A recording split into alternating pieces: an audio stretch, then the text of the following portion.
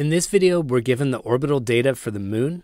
So we have the mean orbital radius and the sidereal orbital period. That's the orbital period with respect to the distant stars rather than the sun. So that really measures how long it takes to go around the Earth once.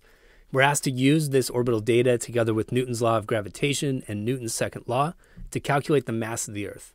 Now, this is a classic astronomy calculation. Anytime that you observe a satellite going around a large body, you can approximate the mass of that large body without even knowing the mass of the satellite itself. So we don't need to know the mass of the moon here.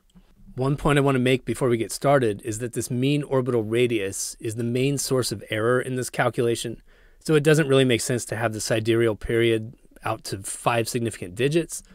We're ignoring the fact that the orbit is slightly elliptical, and we're also ignoring the fact that the Earth wobbles a little bit as these two bodies orbit each other.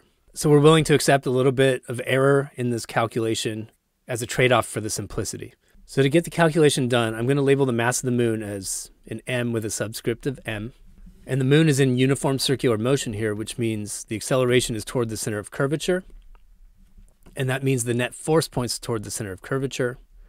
And that force arises from the attractive force of gravitation. The force of gravitation is described by Newton's law of gravitation. That's g times the product of both masses that are involved divided by the square of the separation distance between them. And that constant g is given by about 6.67 times 10 to the negative 11 newton meters squared per kilogram squared. Then we simply apply Newton's second law to the moon. So I have F net equals ma, and there's only one force acting here, and it's the gravitational force. And the moon is the thing that's accelerating. So I have the mass of the moon times its acceleration. Now the acceleration in this case is a centripetal acceleration. I could write that as v squared over r, but it's more direct to phrase the centripetal acceleration in terms of the period. And that's 4 pi squared r over t squared. And this is the moment where the mass of the moon cancels out. So we realize it doesn't matter what the mass of the satellite is. It could be anything. It could be a piece of space junk. If you observe its orbit around the Earth, you're going to be able to calculate the mass of the Earth from that. And so we're trying to solve for the mass of the Earth. I'm going to isolate that real quick. So we'll multiply both sides by r squared, and I get a 4 pi squared r cubed divided by gt squared. And we're almost ready to get the mass of the Earth out of this, but we have to do some unit conversions first. So first of all, the orbital radius needs to be converted to meters. Shifting the decimal place on the orbital radius, I have 3.85 times 10 to the fifth kilometers. This needs to be converted to meters, which gives you three more factors of 10. And I get 3.85 times 10 to the eighth meters. And then I have to do a little calculation on the sidereal orbital period. I have 27.322 days. And we need to get to SI units here, which means I need seconds. And there's 24 hours in a day, and there's 3,600 seconds in an hour. And this gives me 2.361 times 10 to the sixth seconds.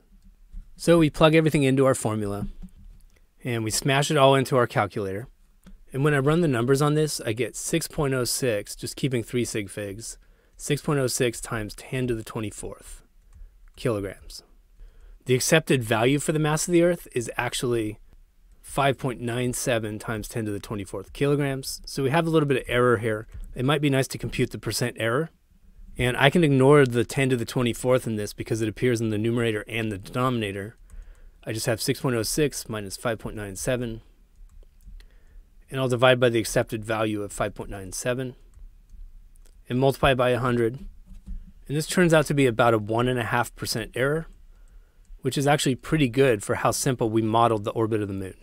If you enjoyed this video or at least found it useful, check out another one by clicking one of the links on the left or click the Zak's Lab logo on the right to explore dozens of physics and math playlists. As always, you can leave your questions, comments, and requests in the comments section below, and I'll get back to you within 24 hours. Thanks for watching Zak's Lab, and best of luck on your math and physics journey.